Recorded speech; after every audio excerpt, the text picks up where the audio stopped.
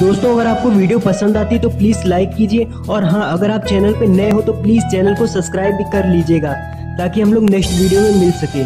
कर लो यार ना सब्सक्राइब और लाइक